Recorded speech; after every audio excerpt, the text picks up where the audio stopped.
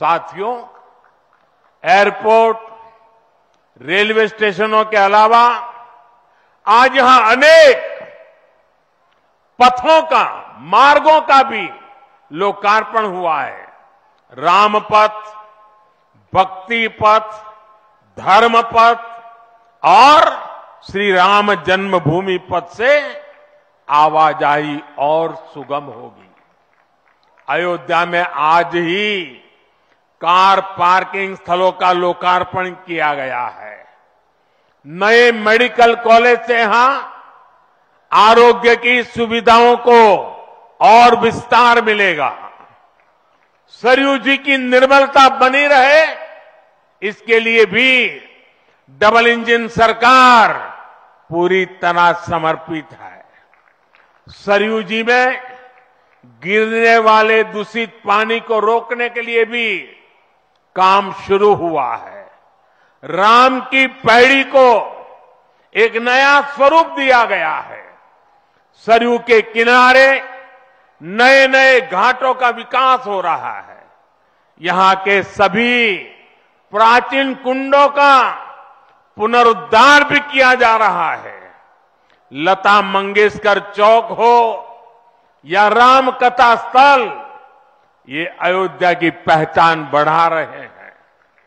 अयोध्या में बनने जा रही नई टाउनशिप यहाँ के लोगों का जीवन और आसान बनाएगी। विकास के इन कार्यों से अयोध्या में रोज़गार और स्वरोजगार के नए अवसर भी बनेंगे। इससे यहाँ के टैक्सी वाले, रिक्शा वाले, होटल वाले, ढाबे वाले प्रसाद वाले, फूल बेचने वाले, पूजा का सामग्री बेचने वाले, हमारे छोटे मोटे दुकानदार भाई, सभी की आय बढ़ेगी। मेरे परिवारजनों, आज यहाँ आधुनिक रेलवे के निर्माण की तरफ़ एक और बड़ा कदम देश ने उठाया है।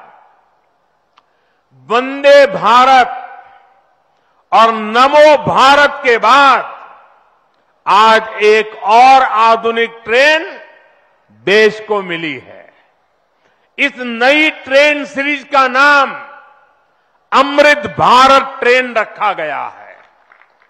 वंदे भारत, नमो भारत और अमृत भारत ट्रेनों की ये त्रिशक्ति भारतीय रेलवे का कायाकल्प करने जा रही है।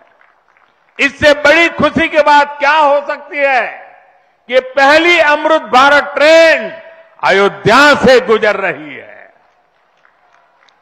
Delhi Darbhanga Amrit Bharat express train, Delhi UP Bihar के लोगों की यात्रा को आधुनिक बनाएगी। इससे बिहार के लोगों के लिए भव्य राम मंदिर में विराजमान विराजने जा रहे रामलला के दर्शन को और सुगम बनाएगी। ये आधुनिक अमृत भारत एक्सप्रेस ट्रेन विशेष रूप से हमारे गरीब परिवार, हमारे श्रमिक साथियों को बहुत मदद करेगी। श्री रामचरित मानस में गोस्वामी तुलसीदास जी ने कहा है परहित सरित धर्म नहीं भाई। पर पीड़ा सम नहीं अदमाई। अर्थात दूसरों की सेवा करने से बड़ा और कोई धर्म, कोई और कर्तव्य नहीं है। आधुनिक अमृत भारत ट्रेनें गरीब की सेवा इसी भावना से ही शुरू की गई है। जो लोग अपने काम के कारण अक्सर लंबी दूरी का सफ़र करते हैं, जिनकी उतनी आमदनी नहीं है, वे भी आधुनिक सुविधाओं और आरामदायक सफ़र के हकदार है। गरीब के जीवन की भी गरिमा है। इसी ध्येय के साथ इन ट्रेनों को डिज़ाइन किया गया है। आज ही पश्चिम बंगाल और कर्नाटका के साथियों को भी, उनके राज्य की पहली अमृत भारत एक्सप्रेस ट्रेन मिली है। मैं इन राज्यों को भी अमृत भारत ट्रेनों की बधाई दूँगा। मेरे परिवारजनों, विकास और विरासत को जोड़ने में वंदे भारत एक्सप्रेस बहुत बड़ी भूमिका निभा रही है। देश की पहली वंदे भारत एक्सप्रेस ट्रेन काशी के लिए चली थी। आज देश के 34 रूट पर वंदे भारत एक्सप्रेस ट्रेनें चल रही है। काशी, वैष्णो देवी के लिए कटरा, उज्जैन, पुष्कर, तिरुपति, शिरडी, अमृतसर मदुरई आस्था के ऐसे हर बड़े केंद्रों को वंदे भारत जोड़ रही है। इसी कड़ी में आज अयोध्या को भी वंदे भारत ट्रेन का उपहार मिला है। आज अयोध्या धाम जंक्शन, आनंद विहार वंदे भारत शुरू की गई है।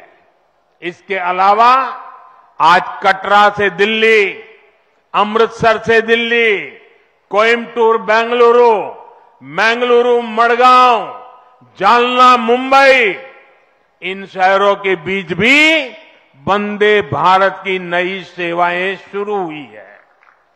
वंदे भारत में गति भी है, वंदे भारत में आधुनिकता भी है, और वंदे भारत में आत्मनिर्भर भारत का गर्व भी है।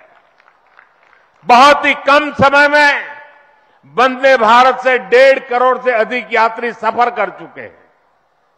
विशेष तौर पर युवा पीढ़ी को ये ट्रेन बहुत पसंद आ रही है। साथियों, हमारे देश में प्राचीन काल से ही तीर्थ यात्राओं का अपना महत्व रहा है। अपना गौरवशाली इतिहास रहा है।